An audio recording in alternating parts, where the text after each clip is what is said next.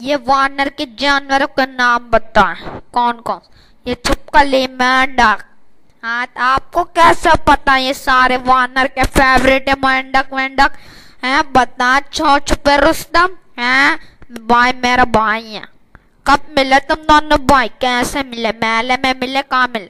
ہم ملے تو کچرے میں۔ دونوں ایک دوسرے کے نانڈے مارتے تھے جب بھی تو اتنے خوبصورت ہو دونوں، منٹو کہہ لو دونوں۔ ہماری تعریف میں تمہاری تعریف کرنے کے لیے شکریہ۔ ہم دونوں ہی انڈے، ہم گدے بھی ہیں۔ او سوئی، تو ہے گدا، وہ تو کہنے والی بات ہے۔